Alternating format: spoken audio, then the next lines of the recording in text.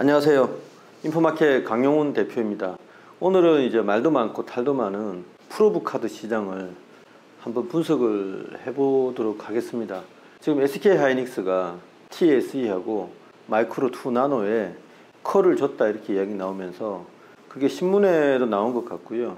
텔레그램에도 유사한 내용이 돌아다니면서 관련 주가가 올랐다 떨어졌다 뭐 난리를 치고 있죠. 지금 어느 정도로 이게 그 내용이 신빙성이 있는 건지 이걸 한번 점검을 해드리고요.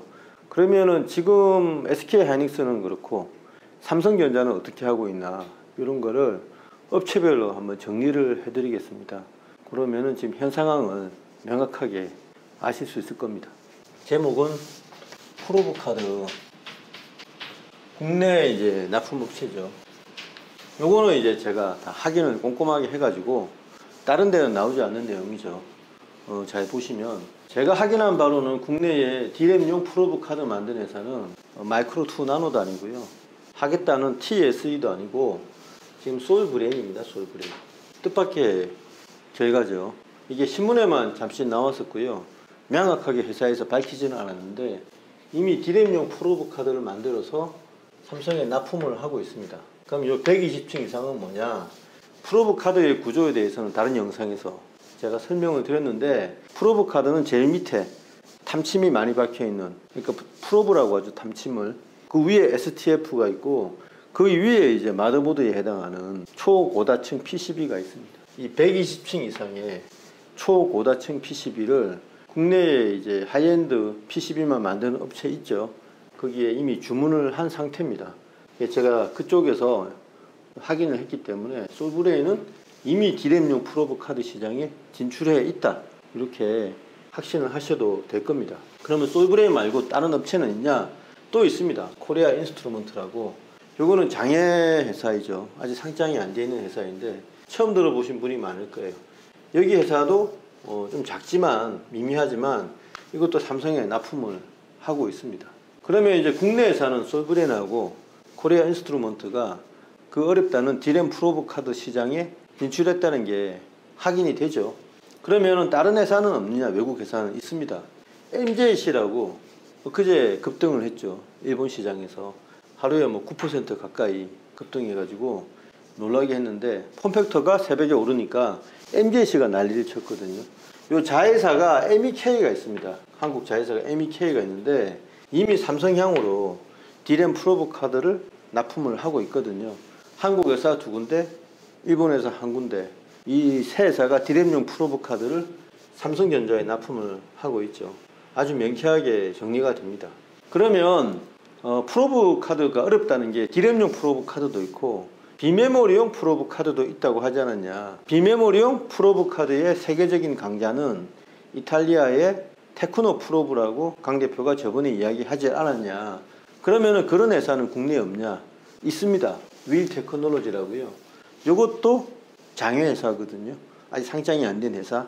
상장을 준비를 하고 있죠. 여기 대주주가 삼성전자 출신의 진대제 삼성전자를 그만두기 전에 디지털 미디어 총괄 대표이사 사장을 역임을 하셨죠. 그래서 대표라고 불러도 됩니다. 그래서 이분이 지금 대주주로 있는 회사인데 이게 지금 CIS, CMOS 이미지 센서라고 해서 카메라의 핵심 부품이잖아요. 일종의 반도체인데 이미지 센서 칩 요거를 삼성전자에서 생산을 하는데 그 칩을 검사하기 위한 probe card 그거를 생산을 합니다. 그러니까 비메모리 probe card인데 Technoprobe 못지않은 기술력을 확보를 한 셈이죠. 이거 삼성에 납품을 한다고 합니다. 처음에 이제 윌 테크놀로지는 과연 상장이 될까? 그리고 NAND flash memory에서 머무지 않겠나 이래가지고 여타 국내에 probe card 회사와 같은 수준이 아니겠나 했는데 최근에 급격한 발전을 이루면서 삼성전자의 비메모리 프로브 카드를 납품을 하고요. 이 비메모리 프로브 카드에 들어가는 초고다층 PCB는 국내 업체에 납품을 받고 있고요. 굉장히 그것도 어려운 건데 MLO는 multi-layer organic 있죠. 이건 후지츠한테 어, 받고 있습니다. 근데 이 MLO도 아까 이야기했던 국내 업체에 주문을 주려고 하고 있죠. 어, 전반적으로 윌도 지금 올라왔다 이렇게 말씀을 드릴 수 있겠습니다.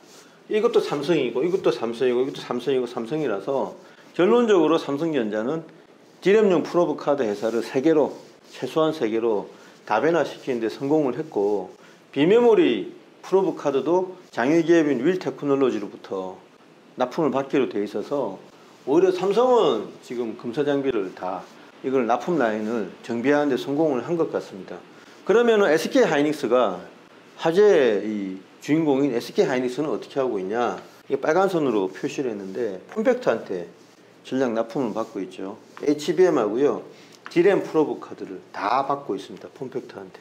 지금 프로브 카드 그제 이야기를 했잖아요.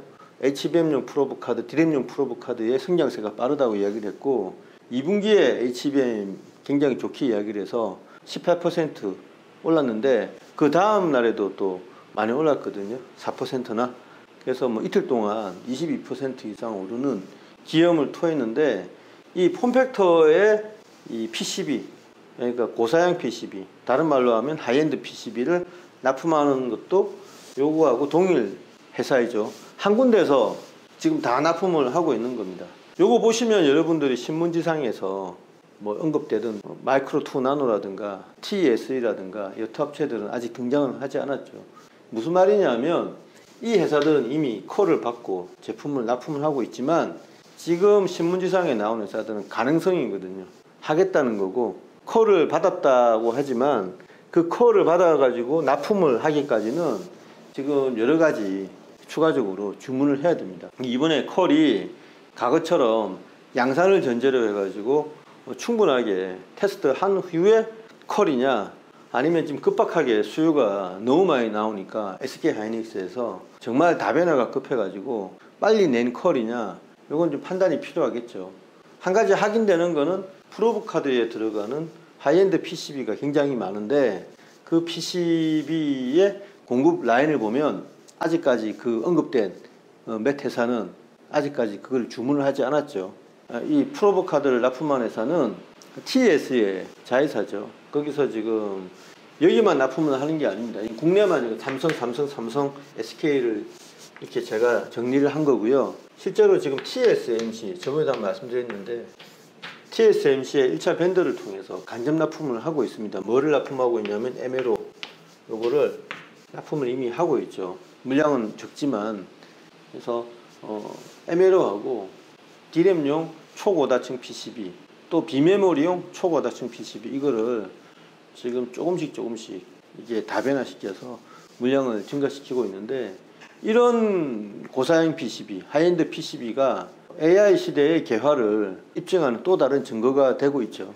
그냥 실제로 현상하고 여러분들이 아시는 거하고 다르다는 걸 말씀드리면서 앞으로 투자도 좀 더 공부를 하면 할수록 굉장히 명료해진다는 것을 강조드리고 싶습니다. 네, 감사합니다.